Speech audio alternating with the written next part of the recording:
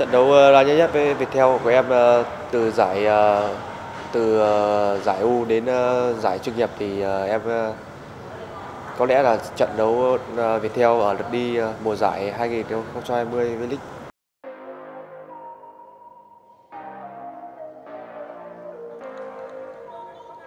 Văn Anh Sự thay đổi người đầu tiên mang tên Nguyễn Văn Anh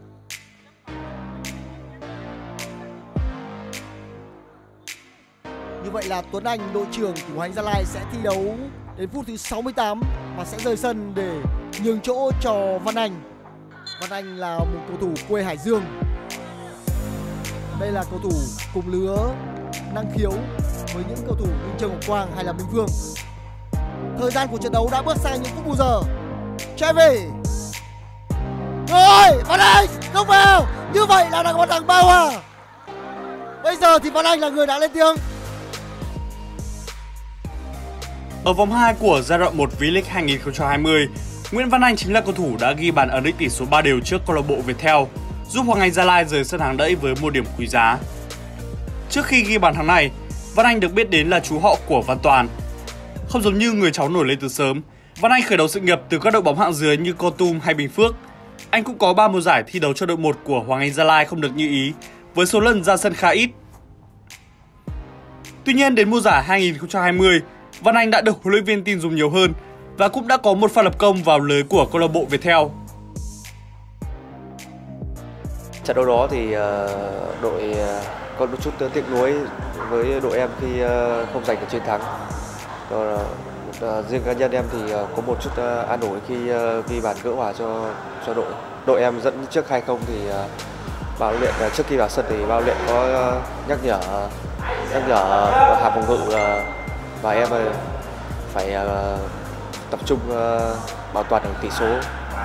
Nhưng mà đội đã không đội phút cao phút cuối đội hơi mất tập trung nên đã bị thua ngược lại 3-2 sau trong khoảng thời gian đó thì thầy bỏ thầy, thầy có chỉ đạo là cho em được dâng cao hơn. Thì thay đúng lúc đó thì em được tuyển trưởng của Chevy ghi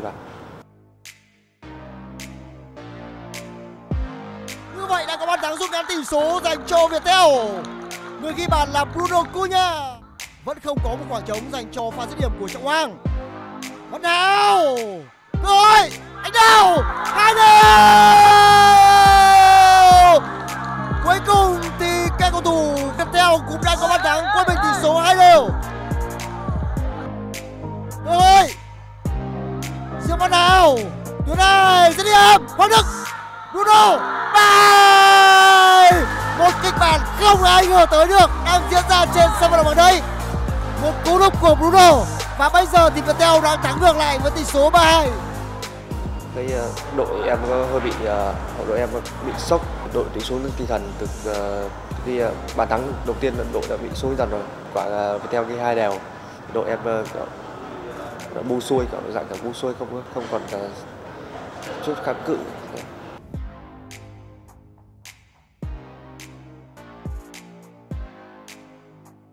Cái thời điểm mà em ờ, ghi bàn ờ, gỡ hòa ba đều thì ờ, cảm xúc của em nói chung là vui nói chung cảm xúc lẫn lộn.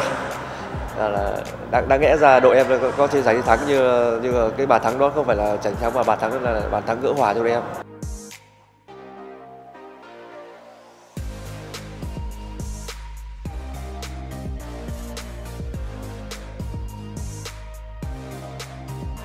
Và thủ Viettel thì à, toàn là những ờ, những anh ờ, đã đội tuyển đã đội tuyển có kinh nghiệm uh, V-League.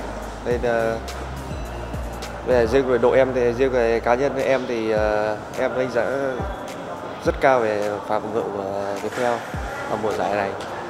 Khi uh, có sự sự có mặt của anh anh Hải, anh Dũng à, thêm vào đó là Duy Thường với cả Duy Thường với cả Đức Chiến em nghĩ là hàng phòng ngự của ờ, Viettel thì ờ, chắc chắn. Nhưng mà nếu mà được ờ, huấn luyện viên tin tưởng trong hội thì em vẫn sẽ cố gắng thi đấu tốt. Nếu mà may mắn hơn thì em muốn đi bàn thắng ở trận đấu trận đấu ngày mai tỷ số ngày mai thì em dự đoán đội em thắng uh, 2-0